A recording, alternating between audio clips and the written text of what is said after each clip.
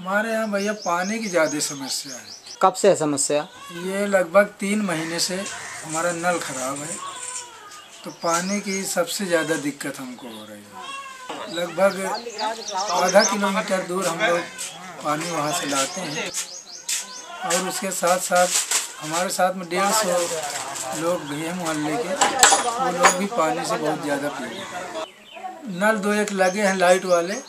वो भी समय से नहीं आता तो हमको गंगा जी जाना पड़ता है नहाने एक किलोमीटर दूरी पे उसके साथ साथ बच्चे भी जाते हैं उनको भी खतरा रहता है भाई। हैंडपम्प बनवाने के लिए आपने क्या प्रयास किया था? प्रयास तो बहुत किए प्रधान जी से भी कहे पास में ब्लॉक है बीडीओ साहब के पास भी अप्लीकेशन दिया कौशाम्बी जनपद के कड़ा ब्लॉक के कड़ा गाँव में पिछले तीन महीने से हैंडपम्प खराब पड़ा था। जिस पर हमने एक आठ महीने पहले एक वीडियो बनाया था। वीडियो बनाने के बाद उस वीडियो के माध्यम से समुदाय को जागरूक व संगठित कर समुदाय के सहयोग से मैं इस समस्या पर बदलाव ला पाया। अरे हमारे यहाँ तो तीन महीने से हैंडपम्प खराब था। फिर कैसे बदलाव आया? फिर महेश भैया आए और हम लोगों को मीटिंग मीटिंग करवाए। मीटिंग करने के बाद एप्लीकेशन लिखे ब्लॉक गए। कितने लोग ब्लॉक गए थे? लगभग पंद्रह आदमी हम लोग ब्लॉक गए। और फिर ए साहब को हम लोगों ने अप्लीकेशन दिया।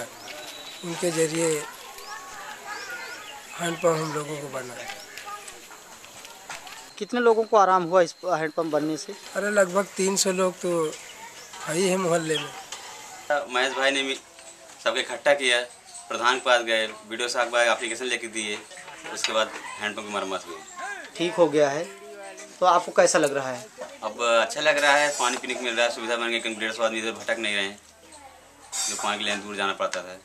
मैं चाहता हूँ ऐसे ही समस्याओं पर वीडियो बनाता रहूँ और समुदाय के सहयोग से बदलाव लाता रहूँ। मैं महेश कुमार कड़ा कौशाम्बी उत्तर प्रदेश से इंडिया अनहर्ट के लिए।